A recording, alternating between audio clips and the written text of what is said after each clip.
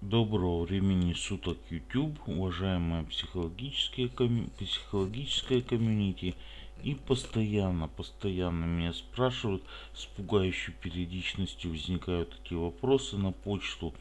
Я просто замучился, реально много этих вопросов. Но всех пытаюсь уже отсылать к видео, потому что неоднократно снимал такие видео, рассказывал об этих методиках. Ну еще раз, обобщенно, последний раз, кратко и по делу. Итак, методика, значит, э, стимульный материал э, теста Розенцвейга. Всего карточек 24. Вот он здесь представлен, 24 карточки. Запомните раз и навсегда. Всего их 24, взрослый вариант. Методика hand тест. Всего карточек 10. Запомните раз и навсегда. Вот здесь вот они представлены, 10 карточек.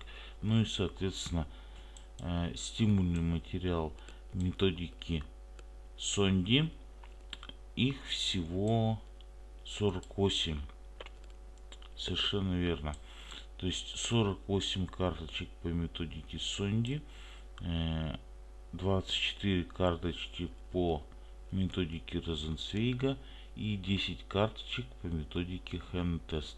Все они являются проективными методиками, некоторыми, но стимульный материал у нас есть весь в полном объеме. У них у всех, надо сказать, что их объединяет. Единственное, но это шутка в большей степени. Их объединяет то, что они очень-очень странного размера на самом деле эти карточки. Они не одинаковые по своей, по своей размерности. Я имею в виду э, не их различие по размерности от методики к методике а вот э, внутри самого стимульного материала. Сами карточки не всегда какие-то нестандартные. Ну к примеру просто к примеру. Предположим там 15 на 8 или там 10 на 7 и так далее. Это цифры беру с потолка. Это тема для другого видео. Это большой разговор. Но всегда размер оригинальных карточек. Почему так получалось? Почему их так создавали авторы? Непонятно. Вот. Значит, 24 Розенцвейк, 10 Хендтест и 48 по сонде.